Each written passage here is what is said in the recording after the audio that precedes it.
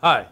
In this problem, we're going to look at the probability that when you take a stick and break it into three pieces randomly, that these three pieces can actually be used to form a triangle.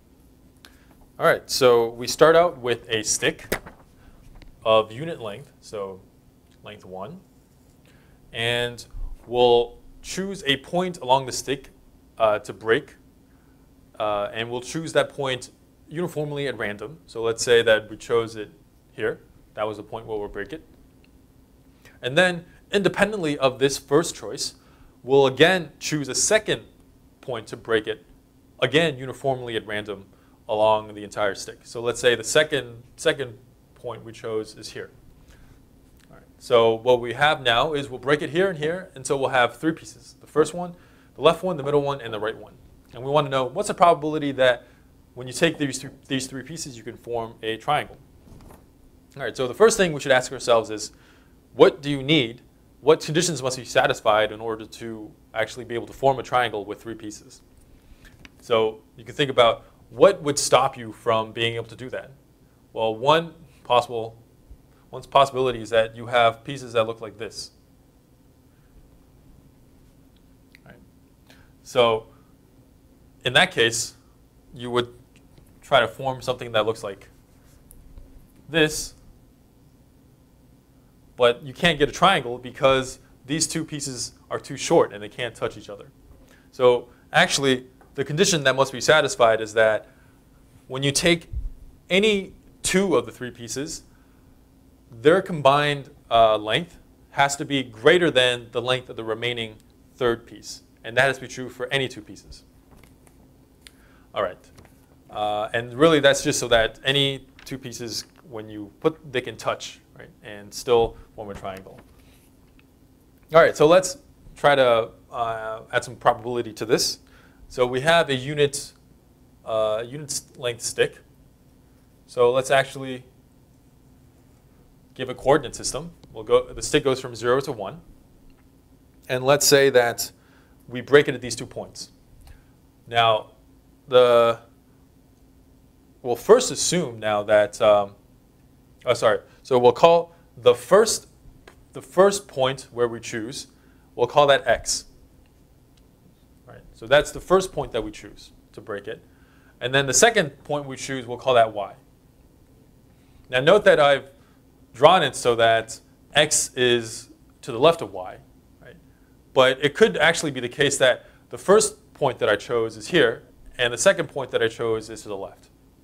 But for, for now, let's first assume that this scenario holds, that the first point is to the left of the, of the second point. All right, so under this assumption, we can see that we can, from, from the definition of these random variables, we can actually see that uh, the lengths are given by these three lengths. So the lengths are x, right? the leftmost piece has length x. The second middle piece has length y minus x. And the last piece has length 1 minus y. All right. And now let's recall our three conditions. So the conditions were that any two of these, the sum of any two lengths has to be at least has to be greater than the, the length of the third piece. So let's do these uh, together. So let x plus y minus x has to be greater than 1 minus 1. So with these two pieces, you can cover this third piece. We also need that with uh, the first and third pieces, we can cover the middle piece. And we need, with the second and third pieces, we can cover the first piece. Now this looks kind of messy, but in fact we can actually simplify this, right? So this actually simplifies. x minus x, that disappears.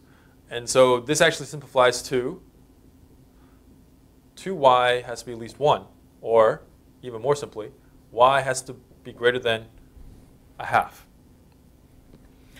What about this one?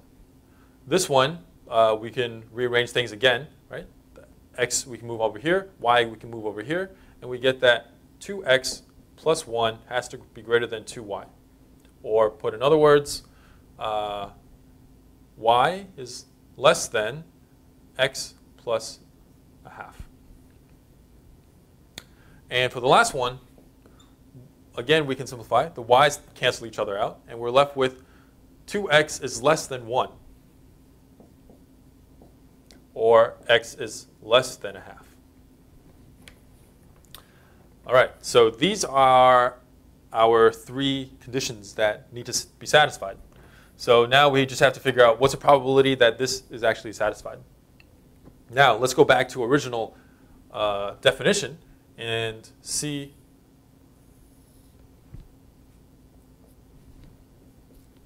what are the actual distributions for these random variables x and y. Remember, we defined them to be x is uh, the location of the first break, and y is the location of the second break. And as we said in the problem, these are chosen uniformly at random, and they're independent. And so we can actually draw out their joint PDF. So x and y, you can cover any point in the square. And moreover, it's actually uniform within this square because each one is chosen uniformly at random and they're independent. Right? So it's anywhere in here. And so what do we need to do? We just need to identify what's the probability that these three conditions hold. Just rewrite this, line these up. So these are our three conditions that we need. And now remember, we're still working under the assumption that the first point that we chose is actually to the left of the second, second point. So what does that mean? That means that we are actually in this top triangle, top half, right? X is less than y. All right, so what do we need? We need y to be at least a half. So here's a half. So we need y to be above this line. We need x to be less than a half, so we need x to be to the left of here. So now, so far, we're stuck in this upper square. And the last thing we need is y to be less than x plus a half. What is y? The line y equals x and a half, x plus a half, is this one.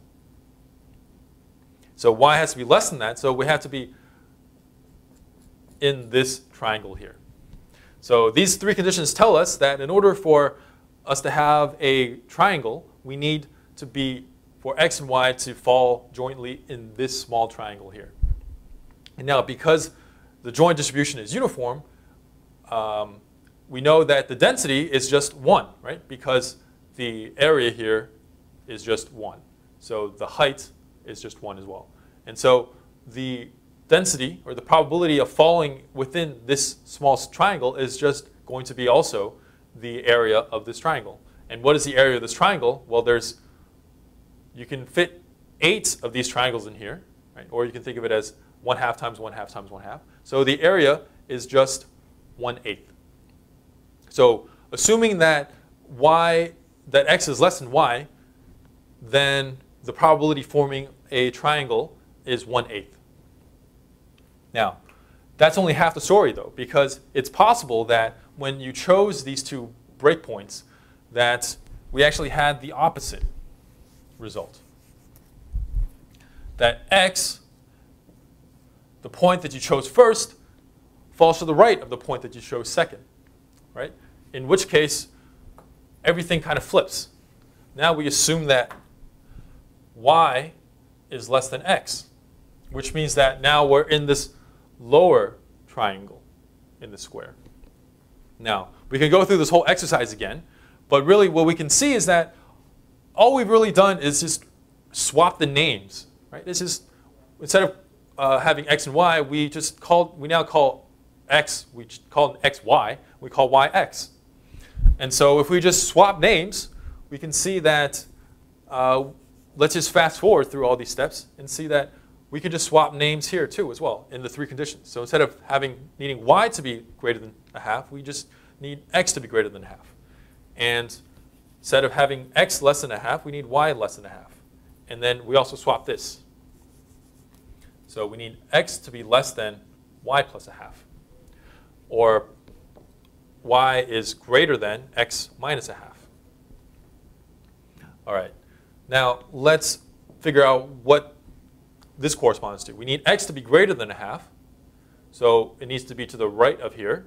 We need y to be less than a half. So we need it to be below this line. And we need y to be greater than x minus a half. What is the line y equals x minus 1 half? That is this line here. And we need y to be greater than that, so it needs to be above this line. And so we get that this is the triangle, the small triangle that we need in this case. And notice that it's exactly uh, the same area as this one, right? And so we get another contribution of 1 eighth here. So the final answer is 1 eighth plus 1 eighth is a quarter. So the probability of forming a, a triangle using these three pieces is exactly 1 quarter. And so notice that what we've done is you set things up uh, very methodically in the beginning by assigning these random variables, and you consider different cases, right? Because you don't actually know uh, the order in which x and y may fall. Let's just assume that one particular order and work from there, and then do the other case as well. And it just so happened that uh, because of the symmetry of the problem, the second case was actually very simple. We could just see that it is actually symmetric, and so we get the same answer. All right, so this is kind of an interesting problem because it's, uh, it's actually a practical application of something that you might actually do. And you can see that uh, just by applying these probability concepts, you can actually calculate an interesting probability. And the answer to this question is one-fourth. All right, so I hope that was interesting, and we'll see you next time.